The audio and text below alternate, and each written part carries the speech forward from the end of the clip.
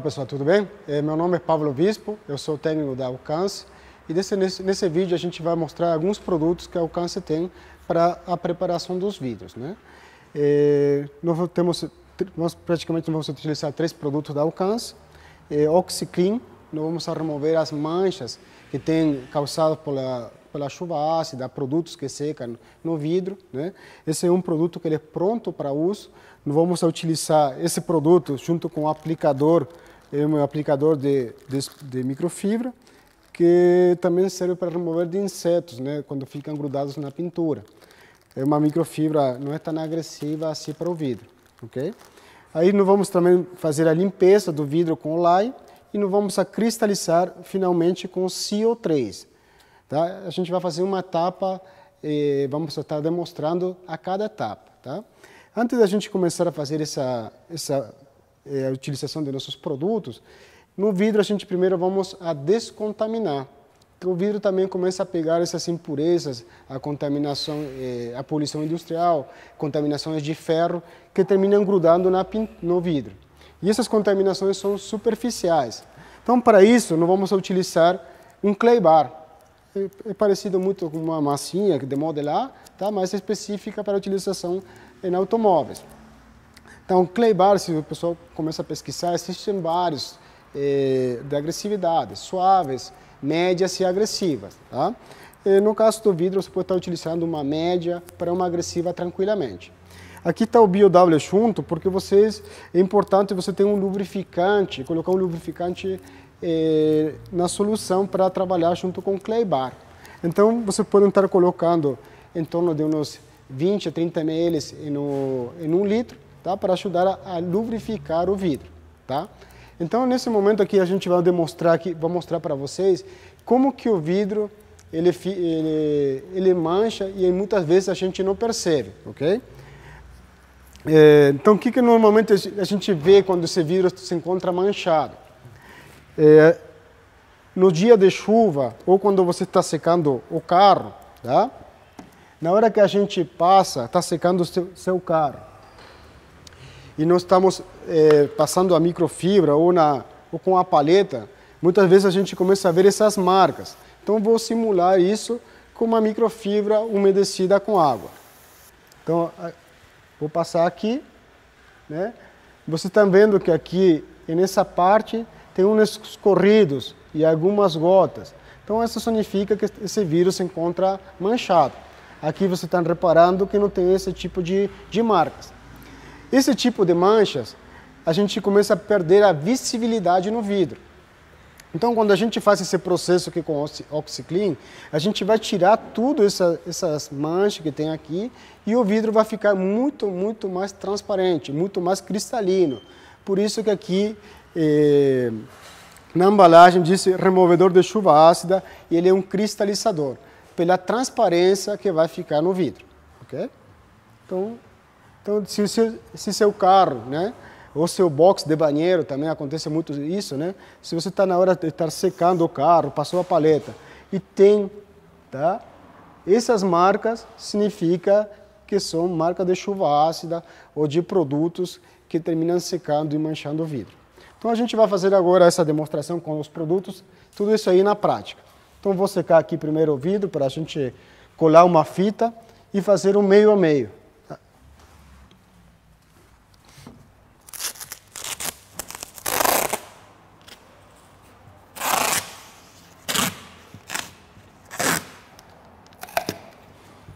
É muito importante, é, na hora que você for utilizar o OxyClean, é muito importante você estar utilizando luvas, né? Nesse caso estou com umas luvas nitrílicas, né? Mas esse, esse, é um produto que realmente precisa de equipamento IPI, tá? Antes de começar a utilizar o, o, o OxyClean, eu vou descontaminar o vidro. E nesse caso aqui já fiz a, a, a diluição do produto, né? Ele está diluído já para a gente utilizar para lubrificante. E vou começar a tirar as impurezas.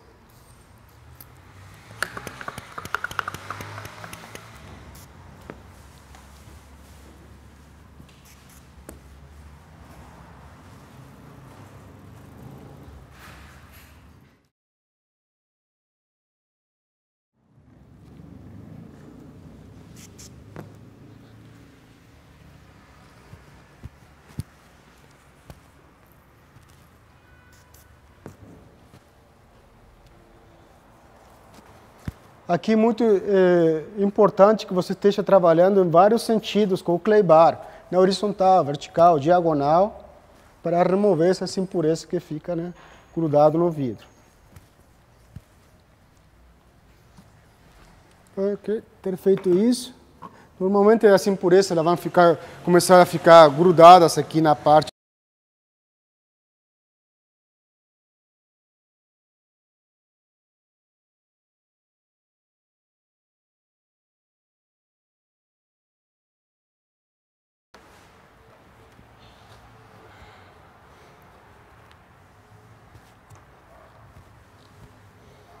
Então agora vamos para utilizar o OxyClean. No caso, nós vamos pegar o aplicador eh, da Alcance. Esse, a vantagem que tem esse aplicador, que como tem uma espuma aqui no meio, ele vai ajudar você a economizar produto também.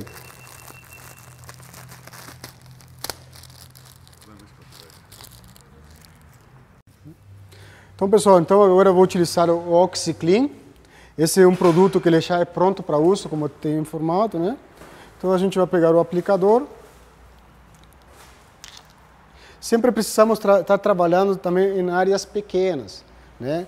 Se o dia está muito quente, trabalhe em uma área de uns 40, 50 centímetros quadrados.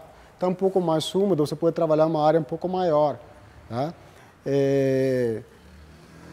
E sempre terminou de fazer essa, essa etapa aqui, sempre é bom estar removendo o excesso do produto, como vamos fazer daqui a pouco. Okay? Então peguei o produto, coloquei no aplicador, aí nós começamos a esfregar o, o vidro.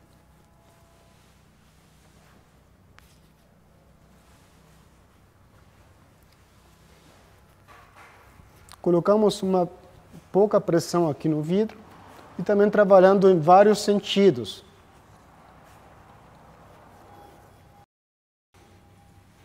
Como o dia hoje não está tão seco, tão calor assim, eu vou me estender para a parte aqui de baixo.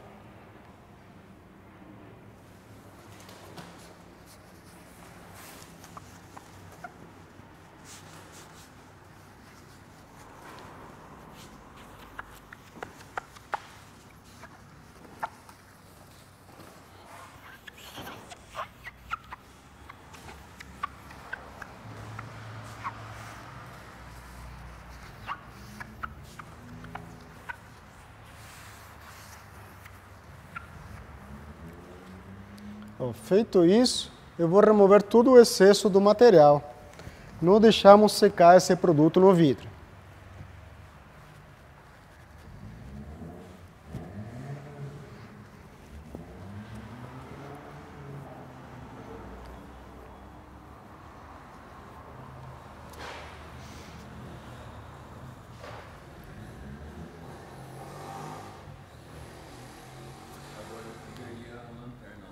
Então, o que acontece, pessoal? É, essas manchas que tem no vidro, ele também encobre os defeitos que tem no vidro.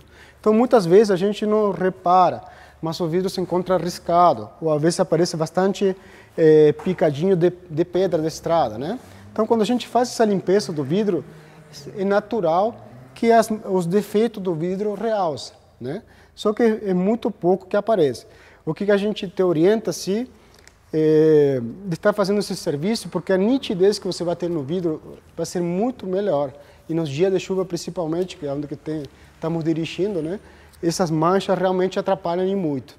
Então agora vamos fazer a demonstração de como que era o antes e o depois.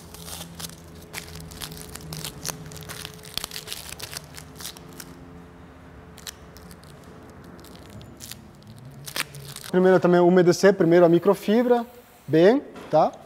E vamos a passar por cima.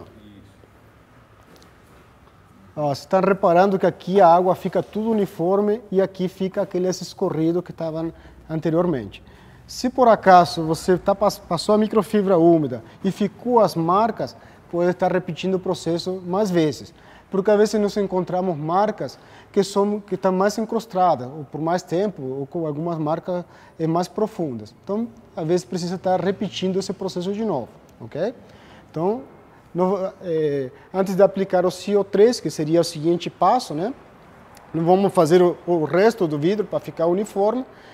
E aí a, a, gente, a continuação já seria o CO3.